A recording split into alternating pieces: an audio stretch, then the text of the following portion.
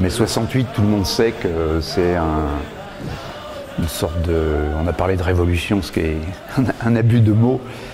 C'est une révolte euh, à la fois ouvrière et étudiante. Et on peut dire aujourd'hui, avec regret d'ailleurs, que cette rencontre des ouvriers et des étudiants n'a pas eu lieu. Déjà.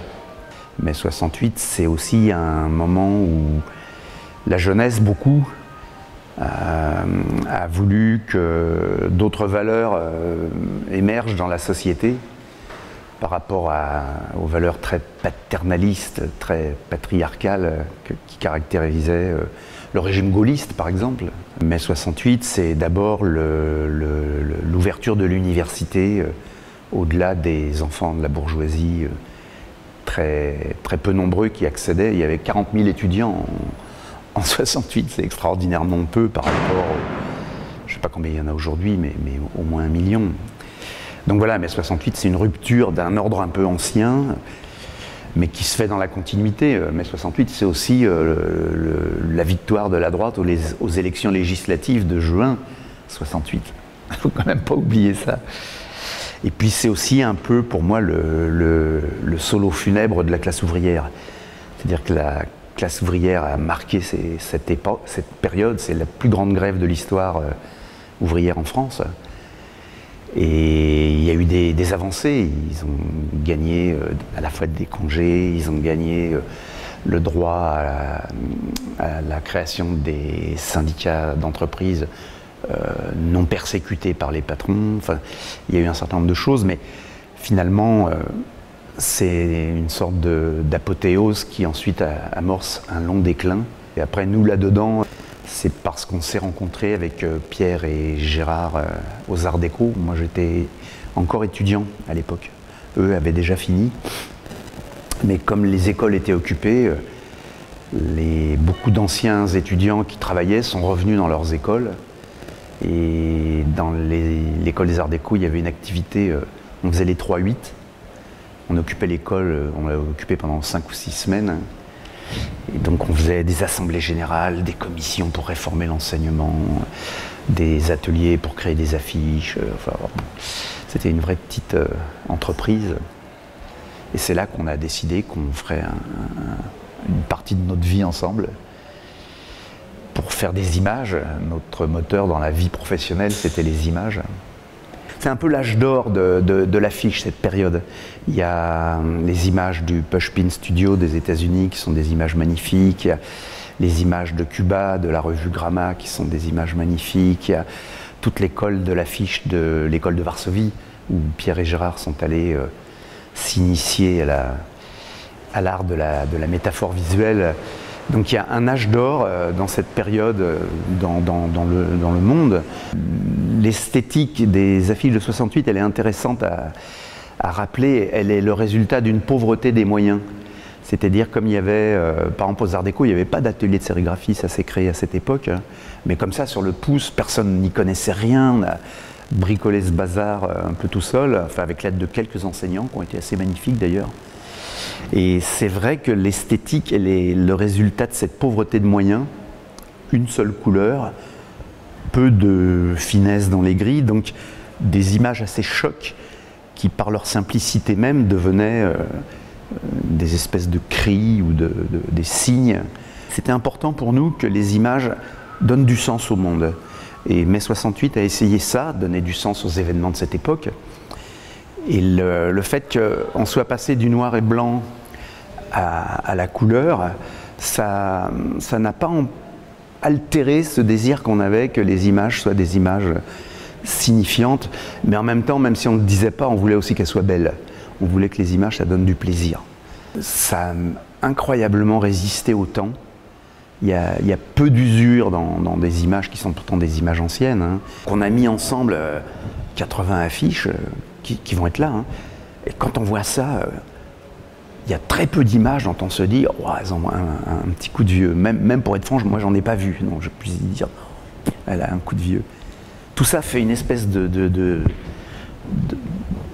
d'univers de, signes euh, qui, qui traduit une idée du bonheur de cette époque. Finalement, il y avait un bonheur dans cette époque. On ne le savait pas forcément. Mais les années 70-90, contrairement aux jeunes, par exemple, aujourd'hui, c'est des années où on pensait qu'il était possible de changer le monde. Nous, on s'est mis ensemble aussi pour ça. Hein. On était des, êtres politiques. On, a adhéré au Parti communiste. on, on avait cet engagement-là et on pensait que, par exemple, la, guerre du Vietnam, que je ne vois pas présente, mais qu'il était beaucoup à cette époque, euh, la guerre du Vietnam, elle, exprimait une sorte de manichéisme de l'époque, du bien contre le mal, des méchants américains, qui sont de, purs crapules dans cette, dans cette guerre, qui bombardent une population qui veut juste accéder à sa, liberté et à son indépendance. Et eh ben, c'était simple quand on dénonçait cette guerre de, de considérer qu'effectivement dans le monde il y avait les bons et les méchants. Et, aujourd'hui, c'est plus compliqué. Donc voilà, c'est ça que ça dit aussi.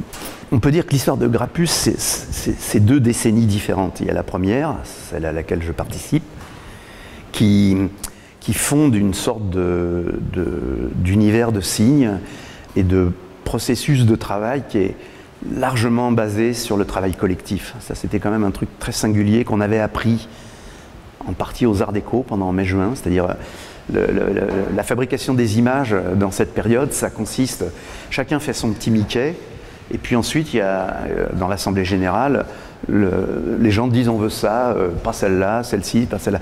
Il y avait déjà une, amorce de travail collectif. Alors c'était primitif, hein, parce qu'il y avait un choix collectif, mais le travail, il était quand même individuel. Et nous, on est passé à l'étage supérieur, on a réussi à partager la création, ce qui est euh, presque un oxymore, partager la création dans le domaine des arts plastiques, où les gens sont fondamentalement individualistes.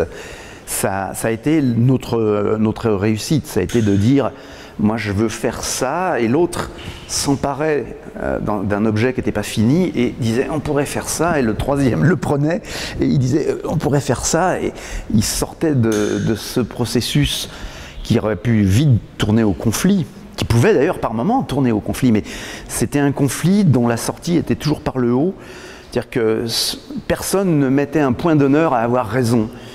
Ce qui avait raison, c'était le, collectif. Les humains, c'est compliqué. Et autant on, est, on peut être égoïste, on peut a, il y a aussi une certaine idée de la solidarité. Euh, parce que c'est la condition qui a permis à l'espèce humaine, qui était quand même assez désarmée devant les grands fauves, etc., de, survivre et finalement de, devenir maîtresse de la Terre. Donc je pense que chez les humains, il y a une capacité à, se retrouver. Il faut des conditions, ça peut être des catastrophes, ce serait pas marrant. Euh, ça peut être une prise de conscience euh, euh, qui vient par, par, des canaux que pour l'instant on n'imagine pas trop. Mais moi je crois qu'à un moment donné, si l'espèce humaine doit survivre, parce que c'est cet enjeu-là maintenant hein, qui devient euh, l'objet des, alternatives un régime destructeur qui s'appelle quand même le capitalisme. Il ne faut pas non plus tourner autour du pot. Ce qui domine le monde, c'est le libéralisme échevelé, c'est cette poignée de, milliardaires qui possèdent 1% euh, de la population, possèdent plus que 50% de toute l'humanité. Un monde comme celui-là est forcément un monde condamné. Donc je pense qu'à un moment donné, oui, il peut y avoir une prise de conscience. Je ne sais pas comment elle viendra.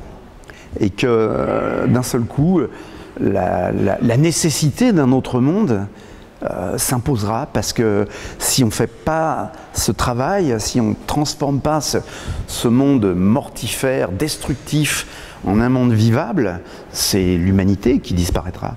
Et moi, j'imagine pas que l'humanité disparaisse.